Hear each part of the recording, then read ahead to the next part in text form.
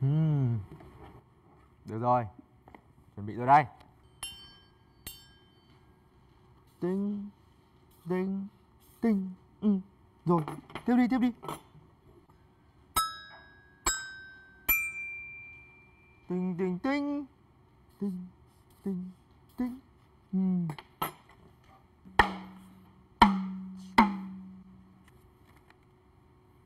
Tung Tung Tung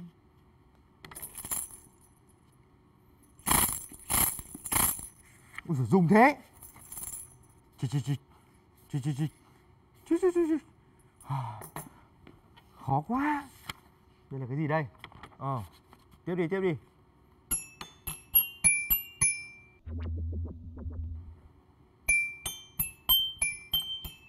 Tòng tinh tòng tinh tòng tinh tòng. À.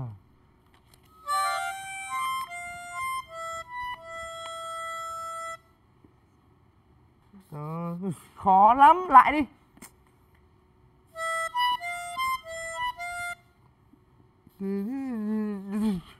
Thôi nhìn có mà nhức hết cả mắt chả nghe được gì. Này ơ mỗi thế mà đã bỏ đi rồi. Anh bỏ cuộc nhanh thế à? Hi hi. anh bỏ cuộc đâu? Cái anh áo đen kia anh ấy bỏ cuộc đấy chứ. Mà này em thấy thí nghiệm của chúng ta ngày hôm nay thế nào Dạ, là quan sát hình dạng của âm thanh ý ạ. Anh cho em xem nhiều lắm rồi mà. Chả có gì lạ cả. Ừm, quan sát hình dạng của âm thanh à thì em có nhớ được chúng ta đã quan sát hình dạng của âm thanh bằng những cách nào không Nào là, mẹ ơi, con đói rồi. Trong số tốc độ của âm thanh này. Rồi những hạt xốp nhảy múa với bài hát này. Rồi hôm nọ thì là hình dạng của âm thanh trong nước này. à em cũng nhớ được rất là nhiều đấy nhỉ thì em có nhớ là vì sao mà chúng ta có thể nghe thấy âm thanh không Ví dụ tiếng đàn nhé. Khi gảy vào, dây đàn rung tạo ra âm thanh. Âm thanh này lan truyền trong không khí đến tai người. Trong tai có một màng mỏng cũng rung lên để tái tạo lại âm thanh nên ta có thể nghe được ạ. wow chính xác thật là giỏi đấy anh không nghĩ là em có thể biết hết tất cả mọi thứ như thế đâu nhưng mà thí nghiệm của chúng ta ngày hôm nay sẽ là một thí nghiệm khác hoàn toàn Khác là khác thế nào ạ? tức là chúng ta sẽ nghe âm thanh này vẽ lại âm thanh đó và dùng chính hình vẽ đấy để tái tạo lại âm thanh. Sao nghe khó hiểu quá vậy ạ?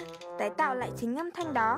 Mà em có thấy họ cầm một cái hộp rồi cho một cái hộp to khác chạy qua. Họ tái tạo âm thanh bằng cách đó sao ạ? Ừm, thực ra thì anh cũng đang muốn biết cụ thể là họ sẽ làm như thế nào đấy. Ơ, em tưởng anh biết chứ. Ngồi vẽ lại hình dạng âm thanh cơ mà.